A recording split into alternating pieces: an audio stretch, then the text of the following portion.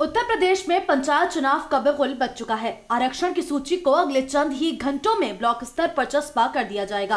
पंचायत चुनाव को लेकर मुख्य विकास अधिकारी मुरादाबाद आनंद वर्धन द्वारा कहा गया कि पंचायत चुनाव को लेकर सभी तैयारियों को मुकम्मल किया जा रहा है। आरक्षण की सूची को चस्पा करने की तैयारी की जा रही है और अगले कुछ ही घंटों में ब्लॉक स्तर पर ग्राम पंचायतों की आरक्षण सूची को चस्पा कर दिया जाएगा।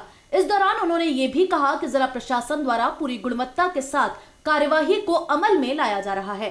इस दौरान उन्होंने सफ़ाई व्यवस्था को लेकर भी दिशा निर्देश दिए और कहा कि जनता की समस्याओं का समाधान सबसे पहले है और जिला प्रशासन इस ओर गंभीर है। समस्याओं का समय रहते निस्तारण हो इस उद्देश्य को लेकर उनके द्वारा गांव-गांव ब्लॉक ब्लॉक जाकर निरीक्षण किया जा रहा है। ये एक वार्षिक निरीक्षण टाइप का हम लोग करते हैं, हर छः महीने पे करते हैं।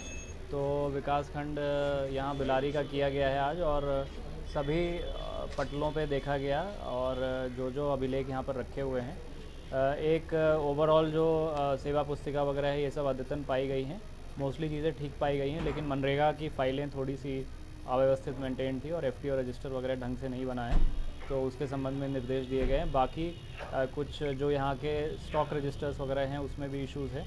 तो और एक बार अभी जो यहाँ पर काम हो रहा है, अभी क्षेत्र पंचायत से भुगतान नहीं हो पा रहा है, क्योंकि प्रशासक नियुक्त नहीं हुए हैं।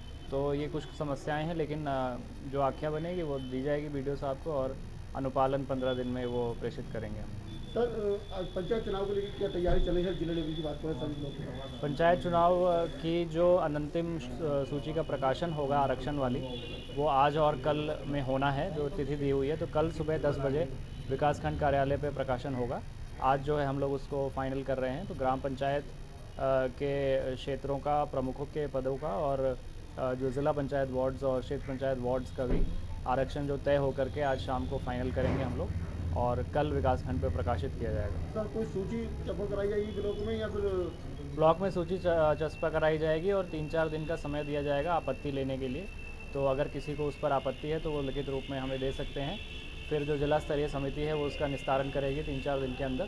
उसके बाद शासन को भेजी जाएगी। सर एक सवाल मेरा ये है कि अभी जो आप पेमेंट वाली बात कर रहे थे प्रधान ने अभी बताया थोड़ी देर पहले हम वहीं आपको तहसील होना चाहिए तो तीस परसेंट किसी ने जो पंचायत है वो उनसे मांग कर रहे हैं ऐसा कुछ आरोप बताया था मेरे संज्ञान में ऐसा नहीं है। अगर इस तरह की कोई शिकायत है तो लिखित रूप में मुझे दें तो जाँच हम लोग कराएँगे